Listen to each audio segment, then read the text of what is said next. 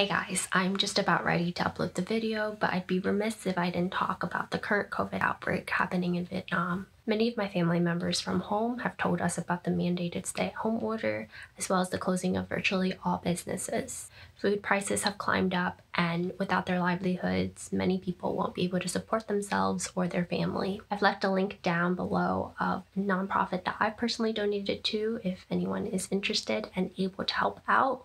It's going to be a really tough summer for a lot of people, so I would be so grateful if you could pitch in. Thank you. Often, when learning about history in the States, we are presented with a narrative that supports Western superiority over the rest of the world. Outside of this bubble, however, other countries, for example, those in Asia, may view themselves as being on the rise and Western power in a state of decline. No one knows these narratives better than the sex workers in Vietnam, whose job it is to embody specific fantasies for their male clients. These fantasies change depending on the client's race, class, nationality, and the specific moment in history. In her book, Dealing with Desire, which is a culmination of five years of ethnographic fieldwork conducted in Vietnam from 2006 to 2010, Hoang outlines three historical events within modern Viet history that track the rise of white prestige, the star of Asian power, and the clash that followed, all told with a focus on the sex industry. The decades of French colonization, rapid urbanization created many bustling new cities.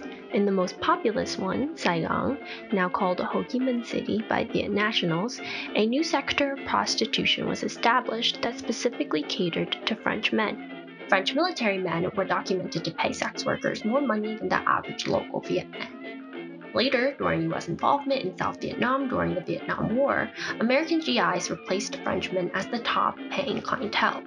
It is this time period of white prestige that contemporary Western tourists hope to tap into when they step into a hostess bar in Vietnam to, as Hoang puts it, reimagine the good old days of US intervention. Sex work was banned during the years following the war by the Communist Party, otherwise known as the CPV. The CPV, despite winning the war, struggled to lift a war torn country from poverty. So in 1986, the CPV passed major economic reform called Đổi mới to revitalize the economy.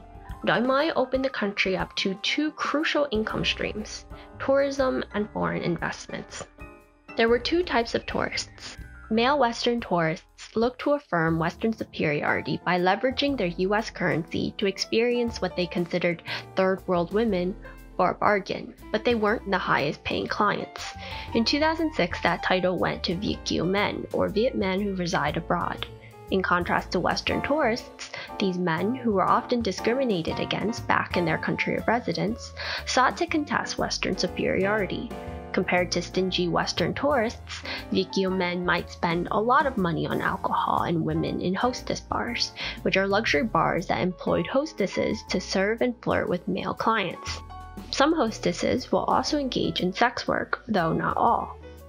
The third major player in the sex industry were Viet elites and their Asian business partners.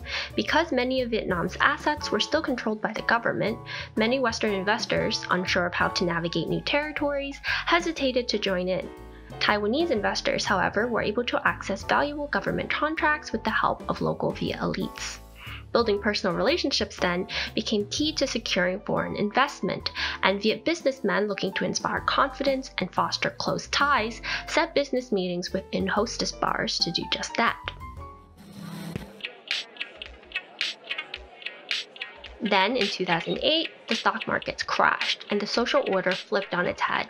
The United States and Europe bore significantly more financial turmoil than Vietnam.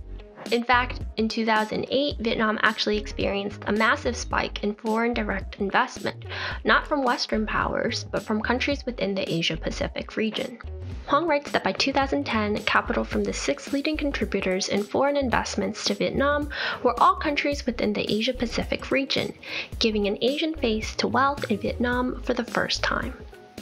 This macro change contributed to the reframing of Vietnam's sex industry. For the first time, it wasn't white men or Viet Kieu who commanded the most fiscal power with their US dollars, but local Viet elites and their Asian business partners. Hostesses and sex workers adapted this narrative of Asian ascent and Western decline into their work in the years following the financial crisis. In my next video, I'm hoping to address the topic of consent and autonomy within the sex industry in Vietnam, as well as focus on the larger picture of violence against women in the country.